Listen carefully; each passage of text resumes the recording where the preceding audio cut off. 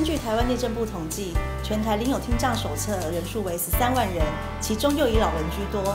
现在有了日本耳保助听器，可以帮你解决听不到的困扰。透过独特专业设计，将捕捉到声音后，再将声音放大，让耳力传送，就可以听到各种美妙的声音。日本耳保助听器有四段式调整音，加上专利防耳垢设计，佩戴整天也不会不舒服。轻量化，携带方便，操作简单，可以更换电池。更有专业的选配师，透过精密仪器诊断，为您亲切的服务。一个我耳仔就较动听啦，人气电铃啦，囡仔咧哭啦，水声甲臭火大，拢唔知影。师傅安尼实在足困扰的啦。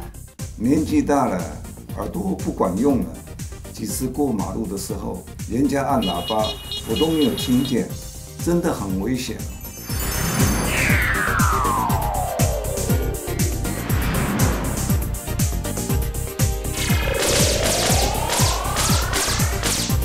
我女儿担心我走在马路上听不到，很危险，买了这一组给我用，听了一清二楚，很管用，很棒。